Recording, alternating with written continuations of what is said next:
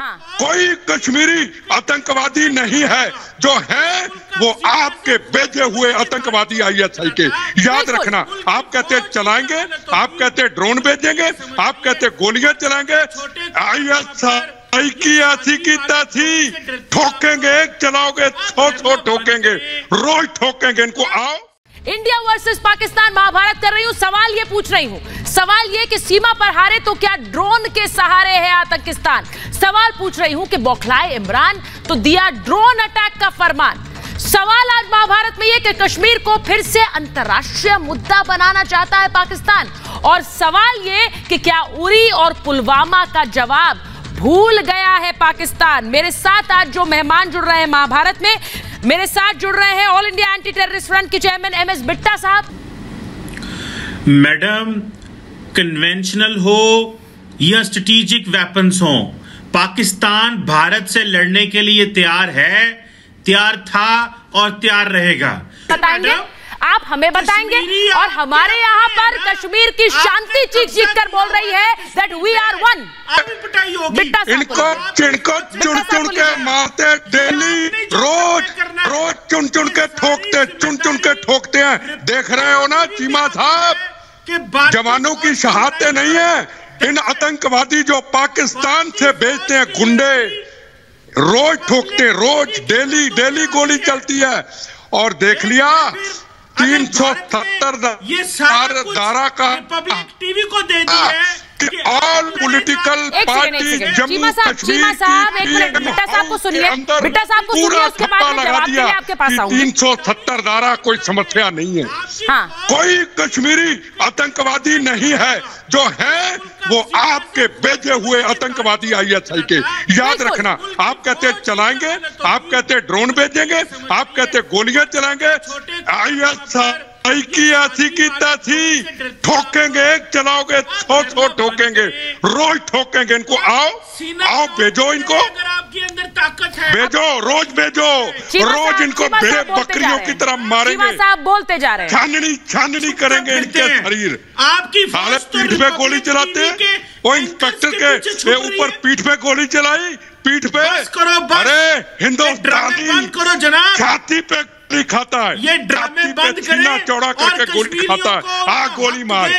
छाती पे तो मार नहीं सकते पीठ पे गोली मारते होगी आपको सर पीठ पर गोली मारते। ड्रोन के ड्रोन के सहारे हो। गए। मैं बिट्टा साहब पे। बिट्टा हूँ साहब। border पे। पीठ पर पीठ पर गोली मारते थे अब ड्रोन के सहारे हो गए। बॉर्डर पे। एक लाख की भीड़ लेके तिरंगे झंडे लेके मैं आता हूँ। अच्छा, एक सेकंड, एक सीने पे। मैं भाईजान। मातृभूमि के लिए। आगे भी खाए अब भी खाऊँगा। जवान पे तो बाद में चलाना। मैं चैलेंज करता हूँ बता। रहे, इतने बड़े बड़े बताओ चैलेंज करता हूँ मैं आता हूँ बॉर्डर पे। चीवा साहब चीवा साहब आगे आया था ना बॉर्डर पे? आपको उनके हेडफोन से दिक्कत है या दिक्कत ये है कि वो हिंदुस्तान के जाबाज हैं हिंदुस्तान के जाबाज हैं और आपको वो हजम नहीं होता। क्या बात कर रहे हैं? बैठ के स्पेस पे जा रहे हो भैया। बड़ी आईएसआई देखी आपके गुंडे देखे बड़े बड़े। ठोक सर, यही रोज तो। सर यही सफ़ाई है क्या आपकी? सर चीमा साहब चीमा साहब यही यही सफ़ाई है क्या? यही सफ़ाई है क्या? ना मेरी बात कराओ मैं समझाता हूँ इनको। चीमा साहब- ठोकते बताओ। एक सेकंड एक सेकंड चीमा साहब यही सफ़ाई है। आपकी? यही सफ़ाई इससे आगे नहीं? इससे आगे नहीं है। दूसरी जो सबसे बड़ी वजह थी वो ये थी कि रक्षा मंत्रालय में बैठे हुए बहुत से सियासतदान वो पैसे कमाना चाहते हैं।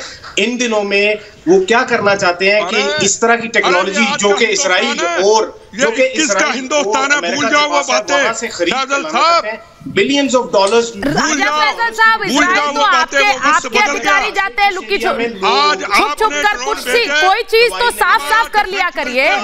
फैजल साहब राजनाथ सिंह जी अगले दिन वहाँ गए। राजा फैजल साहब कोई चीज़ तो खुलकर कीजिए या वो मादा नहीं है। बनाने की कोशिश कर रहे हैं। एक सेकंड एक सेकंड बिट्टा साहब बिट्टा साहब आपको ये पता है कि नहीं पता है? बिट्टा साहब है। इनके इनके अधिकारी जाते हैं इसराइल में छुपकर मुलाकात करते हैं क्योंकि कोई भी ऐसी चीज़ नहीं है जो आप खुलेआम कर सके। कोई भी ऐसी चीज़ नहीं है जो कि आप। खुलकर खुलकर मादा रखते हुए कर सकते हैं। कि नहीं? आप ये लुका छुपी वाली हरकतें कब बंद होंगी आप। छुप छुप कर मुलाकात करते हैं। अपने देश वालों को बताइए ना कि छुप छुप कर मुलाकात करते हैं आप उस इसराइल के उस इसराइल के साथ उस इसराइल के साथ जिसके लिए आप कहते हैं कि हम इन पर हमला कर दें याद रखना। ये आपका पब्लिक स्टैंड है और आपका लुक आप। लुका छुपी वाला स्टैंड वो है कि इसराइल जाकर मुलाकात करते हैं आप। क्योंकि आपको उनसे टेक्नोलॉजी चाहिए आपको उनसे उनसे डिफेंस इक्विपमेंट चाहिए। मुझे बोलने एक सेकंड बाहर निकाल। हमने कभी किसी को मुसलमान नहीं बोला। याद रखना। बिट्टा साहब। सरदार को सरदार मत कहना जी कहना याद रखना। इंडियन एक रोग। बिट्टा साहब- बिट्टा साहब, आप किसे समझा रहे हैं? उनको क्या कहते हो तुम? बिट्टा साहब आप किसे समझा रहे हैं इनके अपने देश में क्या क्या किस तरह से जुल्म कर रखे हैं इन्होंने सिखों पर हो बाहर निकाले। इसीलिए ये तर इसीलिए ये लहजा है बात करने का। इसीलिए ये लहजा है बात करने का। किसी को बेइज्जत सर यही लहजा आपका बात करने का है। सरदार मैं तुम्हें कहूँगा मुसलमान अच्छा नहीं है मैं गलत हूँ। कैसे बोल दिया तुमने?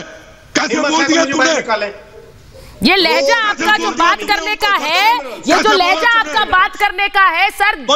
राजा फैजल राजा फैजल. तुम्हें मैं यही बताता दूर बैठा मैं तुम्हें बताता सरदार कैसे बोला जाता है? तुम्हें बताता मैं। अरे खालिस्तानियों बिट्टा- के टुकड़ों पे पलने वाले आईएसआई के टुकड़ों पे पलने वाले राजा बिट्टा फैगल सिंह तो आपको तो आईएसआई के पैसा देती है पैसा देती है आईएसआई आपको। सगे नहीं है। उनके टुकड़ों पे पलते हैं याद रखना। के सगे नहीं है। खालिस्तानी पले हुए पंजाब के भागे हुए खालिस्तानी कुत्ते पाले हुए आपने। उनको सपोर्ट करते एक हैं एक सेकंड माँ के एक सेकंड मैं रवनीक जी को ले रही हूँ एक बार। बिट्टा साहब याद रखना। बिट्टा साहब का ये गुस्सा इसलिए है क्योंकि उन्होंने देश के लिए गोली खाई है। एक मिनट मैं आपको बिल्कुल क्लियर बता दूँ।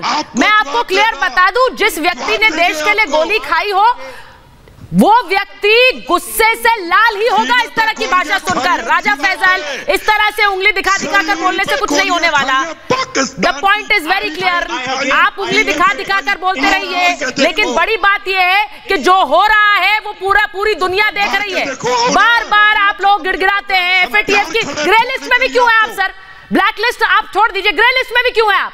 आप इतने ही संत हैं तो ग्रे लिस्ट में क्यों है आप एफएटीएफ की तो साहब ये सही है क्या? आईएसआई के प्रवक्ता है? एक्चुअली पूरा देश ही हिपोक्रेट आईएसआई के प्रवक्ता हैं क्या राजा फैजल साहब। आ जाता है बेचारा सेंटर से वो आके बोलना शुरू कर देता है कोई नई चीज़ लेके आओ यार। बेटा साहब आप बोलिए प्लीज़ देखो मैं इनको एक बात 370 धारा के बारे में क्लियर बता दूँ। दिल्ली पीएम हाउस में मीटिंग हुई। महबूबा मुफ्ती से लेके Farooq Abdullah all political party आई। 370 धारा का मुद्दा नहीं उठा, पाकिस्तान का मुद्दा नहीं उठा, चाहे महबूबा मुफ्ती ने वहाँ कहा कि पाकिस्तान से बात होनी चाहिए, पीएम हाउस में बात नहीं हुई। दूसरी बात कहते हैं फौज किस लिए भेजी है? पूरा फिक्रा किस लिए रखी कश्मीर में? फौज जो आप गुंडे भेजते हैं ना रोज आतंकवादी भेड़े बकरियों को ठोकेंगे। रोज रोज। सिर्फ़ उसके लिए रखी है। भेजिए रोज भेजिए उनको हम ठोकेंगे उनको। वो आजकल इसराइल इसराइल की बात करते हैं। अरे इसराइल को दो मिनट नहीं आप? जेल सकते दो मिनट के लिए।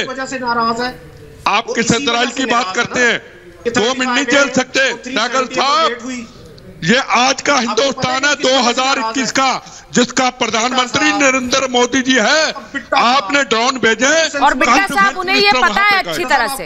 उन्हें ये पता है अच्छी तरह से। यही वजह है। उन्हें ये पता है अच्छी तरह से यही वजह है कि ये सीधा रास्ता लेना भूल चुके हैं। इन्हें सिर्फ़ गली कूचों से रास्ते निकल कर दिखते हैं और इसीलिए ये पीछे से और ड्रोन वाली साजिशों के ज़रिए चलते हैं। यही इनकी यही इनकी असलियत है। सिर्फ़ साजिशें रची जा रही। मेरे पास महाभारत में इतना ही समय था। बहुत बहुत धन्यवाद।